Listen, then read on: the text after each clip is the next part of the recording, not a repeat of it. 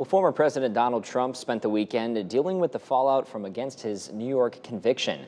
On Thursday, a jury found Trump guilty of 34 counts of falsifying business records. Experts say it's unlikely Trump will get prison time when he's sentenced on July 11th, and his legal team is expected to appeal. However, recent polling shows most independent voters believe Trump got a fair trial, and a portion of Republicans are saying he should drop out. Uh, most Republicans are backing Trump, but it was striking to me in this poll to see about one in six, 16% of Republicans say that this verdict was correct and say he should drop out. Those are big, big numbers. Now, recent polling shows the presidential race between Trump and President Joe Biden continues to be tight ahead of the November election.